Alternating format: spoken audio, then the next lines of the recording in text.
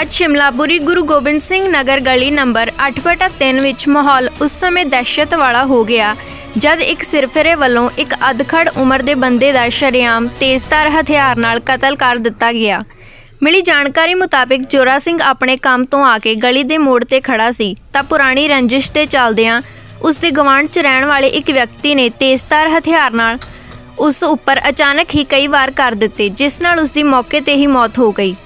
ਘਟਨਾ ਦੀ ਸੂਚਨਾ ਮਿਲਦੇ ਹੀ ਏਸੀਪੀ ਸੰਦੀਪ ਵਡੇਰਾ ਅਤੇ ਥਾਣਾ ਸ਼ਿਮਲਾਪੁਰੀ ਦੇ SHO Balkar Singh police party ਸਮੇਤ ਮੌਕੇ ਤੇ ਪਹੁੰਚੇ ਅਤੇ ਕਾਰਵਾਈ ਸ਼ੁਰੂ ਕੀਤੀ। ਇਹ ਪੂਰਾ ਮਾਮਲਾ ਸੀਸੀਟੀਵੀ ਕੈਮਰੇ ਵਿੱਚ ਕੈਦ ਹੋ ਗਿਆ। ਪੂਰੇ ਇਲਾਕੇ ਵਿੱਚ ਦਹਿਸ਼ਤ ਭਰਿਆ ਮਾਹੌਲ ਬਣਿਆ ਹੋਇਆ ਹੈ। ਇਸ ਸੰਬੰਧੀ ਤੁਸੀਂ ਦੇਖ ਰਹੇ ਹੋ ਦੁਆਬਾ ਮੇਲ ਦੀ ਵਿਸ਼ੇਸ਼ ਰਿਪੋਰਟ।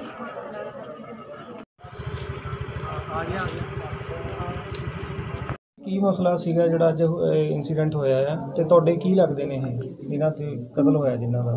ਮੇਰੇ ਘਰ ਵਾਲਾ ਹੈ। ਅੱਛਾ ਜੀ। ਕਿੰਨੇ ਕੁ ਵਜੇ ਦੀ ਗੱਲ ਹੈ ਇਹ? ਸਵਾ ਛੇ ਵਜੇ ਦੀ ਹੈ। ਕੀ ਮਸਲਾ ਸੀ ਕੀ ਪੂਰਾ ਇਹ? ਮਸਲਾ ਵੀਰ ਜੀ ਜਦੋਂ ਜਿੱਦਣ ਲਾਕਡਾਊਨ ਹੋਇਆ ਉਹ ਸਾਡੀ ਉਦੋਂ ਲੜਾਈ ਹੋਈ ਸੀਗੀ। ਉਸ ਤੋਂ ਬਾਅਦ ਸਾਡੀ 6 ਮਹੀਨੇ ਬਾਅਦ ਸਾਡੀ ਰਜਾਬੰਦੀ ਹੋ ਗਈ। ਅਸੀਂ ਲਿਖ ਲਿਖਾ ਕਰ ਲਿਆ ਫੈਸਲਾ ਕਰ ਲਿਆ ਸੀਗਾ।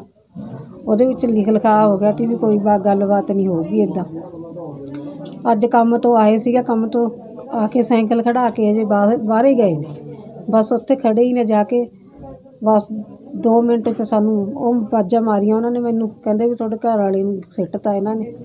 ਜਦ ਨੂੰ ਮੈਂ ਉੱਥੇ ਗਈ ਹਾਂ ਜਦ ਨੂੰ ਪੂਰੇ ਹੋ ਗਏ ਸੀ। ਕੀ ਨਾਮ ਹੈ ਜੀ ਉਹਨਾਂ ਦਾ ਜਿਨ੍ਹਾਂ ਨੇ ਜੋਰਾ ਸਿੰਘ ਆਏ ਹੋਰ ਕੌਣ ਕੌਣ ਸੀ ਜੀ? ਨਹੀਂ ਘਰ ਵਾਲੇ ਦਾ ਮੇਰੇ ਦਾ ਨਾਮ ਜਿਨ੍ਹਾਂ ਨੇ ਮਾਰਿਆ ਜਿਨ੍ਹਾਂ ਨੇ ਮਾਰਿਆ ਉਹ ਬੰਦੇ ਕੌਣ? ਨੇ? ਕਿੱਥੇ ਉਹ ਵੀਰ ਜੀ? ਪਾਠੜੇ ਨੇ ਉਹ ਰਿੰਕੂ ਆ ਕੱਚਾ ਨਾਂ ਤਾਂ ਬਾਕੀ ਸਾਨੂੰ ਪਤਾ ਨਹੀਂ ਉਹਦੇ ਮੁੰਡੇ ਦਾ ਰਹਿਣ ਵਾਲੇ ਕਿੱਥੇ ਦਾ ਕੁਛ ਹੈ ਪਤਾ ਇਹਦੇ ਬਾਰੇ? ਹਾਂਜੀ ਆ ਉਹ ਨਾਲ ਦੀ ਗਲੀ ਚ ਨੇ 8 ਬਟਾ 2 ਨੰਬਰ ਗਲੀ ਹੈ। ਕਿੰਨੇ ਕੁ ਬੰਦੇ ਸੀ ਇਹ?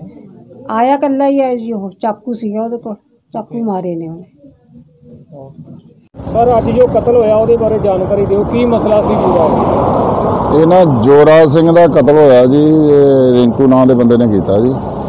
ਬਾਕੀ ਇਹ ਹੈ ਵੀ ਅਜੇ ਉਹਦੇ ਬਿਆਨ ਲਿਖ ਕੇ ਜੋ ਵੀ ਉਹਦੇ ਵਾਰਸ ਮਿਲਦੇ ਆ ਜੋ ਕਾਨੂੰਨੀ ਕਾਰਵਾਈ ਬਣਦੇ ਆ ਕੋਈ ਪੁਰਾਣੀ ਰੰਜਿਸ਼ ਦੱਸਦੇ ਆ ਕਿ ਇਹਨਾਂ ਦਾ ਬੱਚਿਆਂ ਬੱਚਿਆਂ ਦਾ ਪਹਿਲਾਂ ਕੋਈ ਲੜਾਈ ਝਗੜਾ ਹੋਇਆ ਸੀ।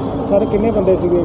ਇਹ ਇੱਕ ਬੰਦਾ ਸੀਗਾ ਜੀ। ਸਰ ਬੰਦਾ ਗ੍ਰਿਫਤਾਰ ਹੋ ਗਿਆ ਨਹੀਂ ਜੀ ਨਹੀਂ ਜੀ। ਪਕੌੜਾ ਜੀ? ਹਾਂਜੀ ਭਗੌੜਾ ਜੀ। ਤੇ ਸਰ ਜੋ ਵਾਰਦਾਤ ਹੋਈ ਹੈ ਇਹ ਕਿਹੜਾ ਹਥਿਆਰ ਕਿਹੜਾ ਵਰਤਿਆ ਗਿਆ ਜੀ ਕੋਈ ਕਿਰਚ ਵਰਗਾ ਹਥਿਆਰ ਇਹੋ ਜਿਹਾ ਕੋਈ ਦੱਸ ਰਹੇ ਠੀਕ ਹੈ ਸਰ। ਥੈਂਕ